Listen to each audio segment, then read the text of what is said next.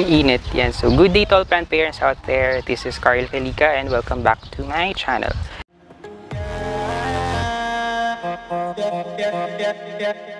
So, for today, magde-degraft lang ako ng Astrophytum. So, um, turn ko lang yung video and I'll share it to you guys.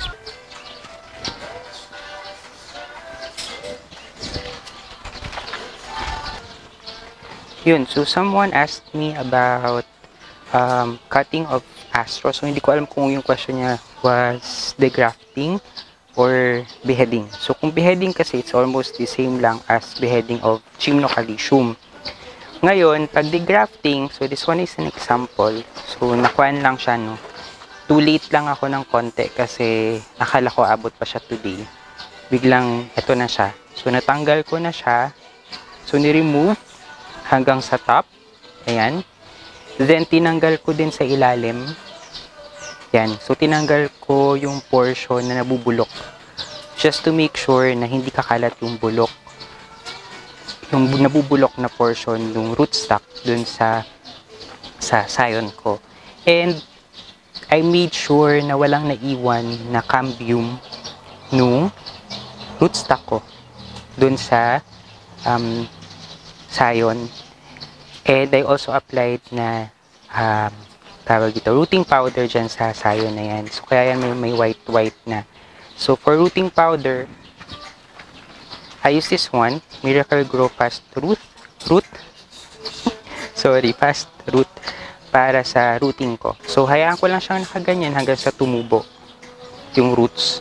Then, saka ko siya itatanim pag may roots na na tumutubo dyan. So, best to place this kapag astrophytum, sa bagay, pati gymno naman, sa um, high temperature area para mas mabilis na um, mag-root yung sayo natin.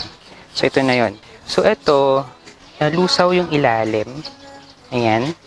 So, kinat ko na siya. So, ano yung options na pwede natin gawin? So, there are actually three options na pwede. So, one is to completely degraft yan. So, tatanggalin natin yung buong cambium. Pwede tayong mag-low graft. So, pwede natin add, or pala, sorry no. So, isa degraft. Pangalawa is re-regraft natin to. So, tatanggalin natin, re-regraft natin yung sayon to ano, rootstock. Pangatlo, paugatin ulit natin to as a low graft na. So, yung mga less than 2 inches na grafted, hanap tayo dito.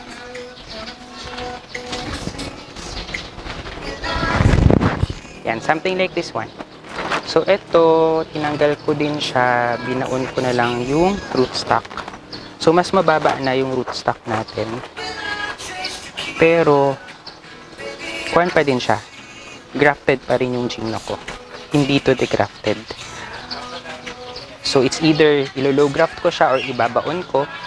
Another one is baon.